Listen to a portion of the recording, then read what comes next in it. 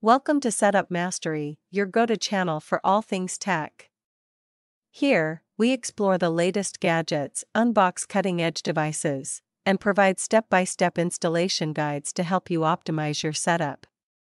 Subscribe now and join our journey to master the art of perfect setups.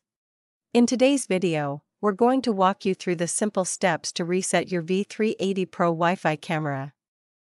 Whether you're troubleshooting connection issues or just want to start fresh, resetting your camera is a straightforward process.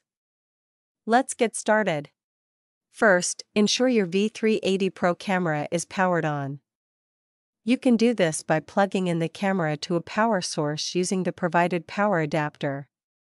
Wait for the camera to boot up, which usually takes a few seconds. Next, locate the reset button on your V380 Pro camera.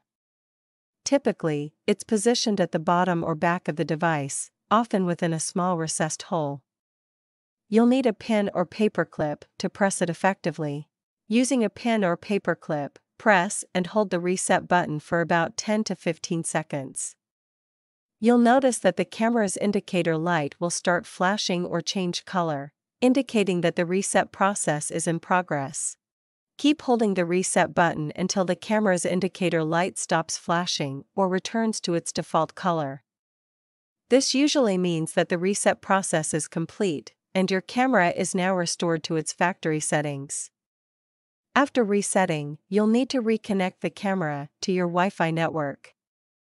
Open the V380 Pro app on your device and follow the prompts to reconfigure and set up your camera from scratch. Launch the app on your smartphone, then follow the on screen instructions to add a new device. Enter your Wi Fi credentials when prompted to successfully reconnect your camera to the network.